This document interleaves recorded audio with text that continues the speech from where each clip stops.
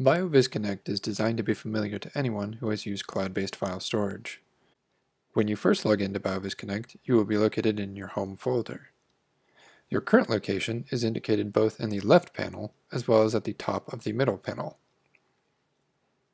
You can see all of the files and folders within your home folder in the middle panel. By default, files and folders are sorted by name. They can also be sorted by last modified and size. If you have lots of files or folders, they will be split into multiple pages.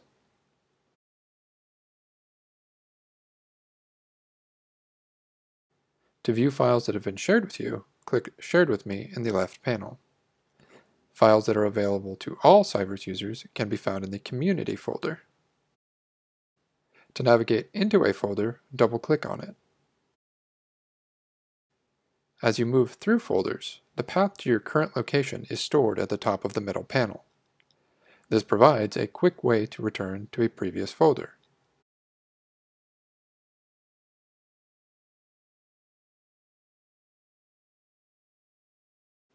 You can also return to previous pages by clicking on the back button in your browser.